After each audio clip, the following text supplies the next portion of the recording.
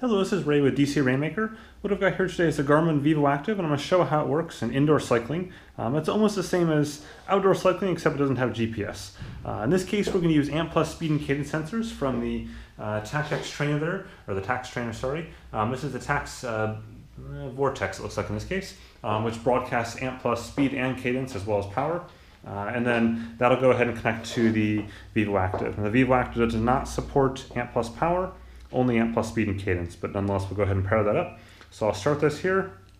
I'll go over to settings, select settings, and then into the sensors menu.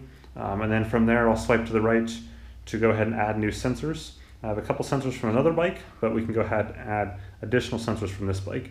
Click add new, go over, choose speed and cadence, select that, and now I'll go ahead and find those sensors here in a split second.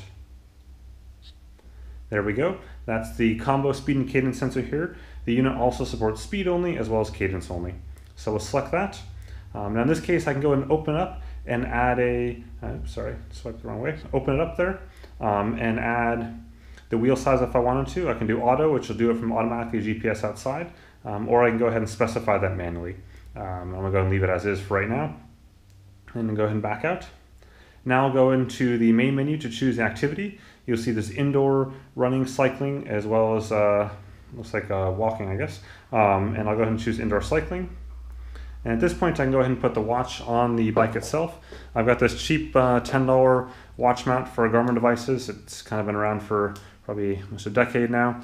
Um, a really easy way to go ahead and uh, put the watch on a bike. Go ahead and get on the bike here.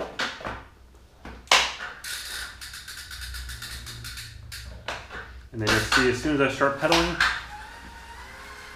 what we'll do is go back to the main screen that I've got configured with speed as well as cadence. And if I click start, it'll go ahead and start right away. You can see as I increase the cadence, it'll increase on the screen as well.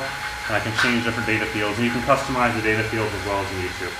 So there you go, it's a quick preview of how indoor cycling works on the Garmin Vivoactive. Thanks for watching.